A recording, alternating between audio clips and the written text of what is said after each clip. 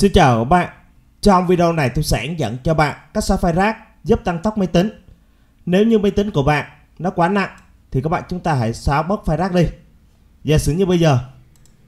Đây, máy tính của tôi OC á nó chỉ còn trống là 13.4 GB mà thôi.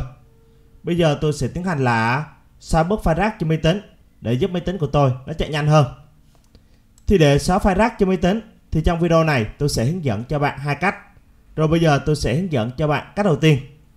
Đầu tiên á, các bạn chúng ta sẽ bấm tờ phím là Windows R. Thì lúc này á, nó sẽ xuất hiện một thoại là run. Sau đó các bạn chúng ta sẽ nhập câu lệnh là phần trăm, thêm, phần trăm. Đó, vào ô open. Sau đó các bạn chọn vào OK này. Đây toàn bộ là các file tạm đã đang chạy này. Rồi để xóa các file này á, các bạn chúng ta sẽ bấm tờ phím là Ctrl A này. Sau đó các bạn chúng ta sẽ bấm phím delete, chọn vào yes. Đó, có những file nó đang chạy á, nó không cho xóa thì các bạn cứ chọn vào skip này, tích vào đây, chọn vào skip này.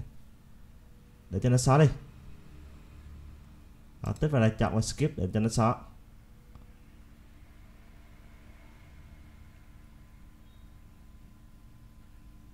Đó, các file tạm đang chạy này thì các bạn cứ tích vào để cho nó xóa rồi không xóa được nữa thì các bạn tắt đi rồi, tiếp theo, các bạn chúng ta sẽ vào thanh tìm kiếm này. Các bạn chúng ta sẽ nhập câu lệnh là, các bạn chúng ta sẽ nhập câu lệnh là clear. Thì lúc này á, nó sẽ ra một chương trình có tên là disk clear up này. Các bạn chúng ta sẽ chọn vào. Rồi đây, các bạn chúng ta sẽ chọn vào OC nha. Chọn vào OK.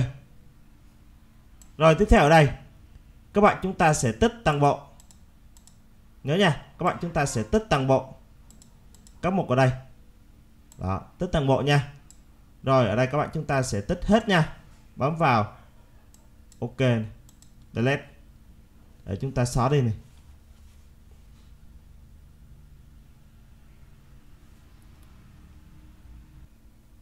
Rồi, tiếp theo, các bạn chúng ta lại vào thanh tìm kiếm. Nhập từ khóa là store này.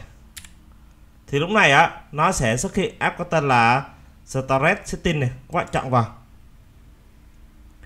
rồi tiếp theo các bạn chúng ta sẽ chọn một là temporary file này.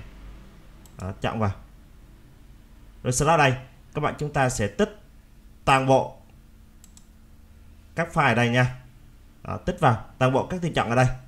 Đó, tích hết nha.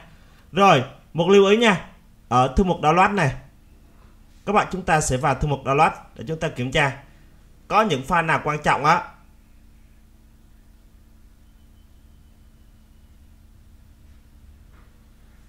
Thì các bạn chúng ta sẽ copy ra ổ đĩa khác nha.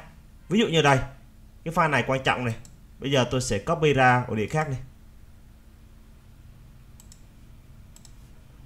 Ổ hát chẳng hạn. Đó, copy ra ổ khác. Sau đó tôi lại vào download để tôi kiểm tra. Đó, cứ file nào quan trọng thì tôi copy ra ổ khác. Rồi, các file này không quan trọng đối với tôi nữa. Bây giờ tôi sẽ xóa đi. Quay lại, một là temporary file rồi sau đó tôi sẽ quay lại một là temporary file này. Đó, tích vào mục download nha.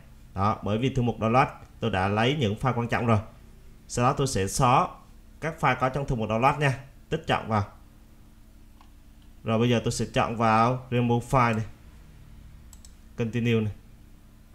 Thì lúc này á, nó sẽ tiến hành là xóa các file rác đi.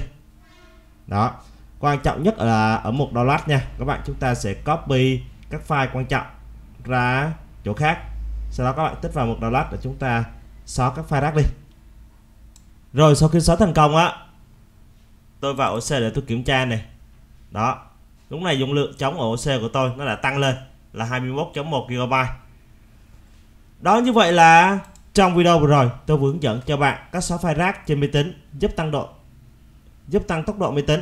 Nếu thấy video hay hữu ích thì bạn đăng ký kênh và chia sẻ cho nhiều người khác cùng xem. Cảm ơn theo dõi.